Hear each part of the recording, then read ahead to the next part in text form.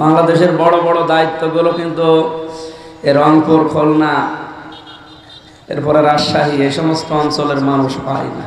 হয়। দেখবেন এদেশ চালাতে যারা চালাচ্ছে যারা সবচেয়ে বড় বড় দায়িত্বে আছে চট্টগ্রাম বিভাগের মানুষেরা। ঢাকা বিভাগের স্বরাষ্ট্রমন্ত্রী অর্থমন্ত্রী এলজিআরডি মন্ত্রী, এগুলো সব কোন এলাকা চট্টগ্রাম। আমাদের রাজশাহী রংপুরে খুলনায় দেয় না কেন? তার মানে ওনাদের সাথে বুদ্ধি আমাদের কম এই জন্য। আমরা এই রংপুর এলাকায় আসলে দেখি, গাড়িতে হরেন দিলে আরও তাকিয়ে দেখে যে হরেন দিচ্ছে কি। একটা সাইড দেবে তো।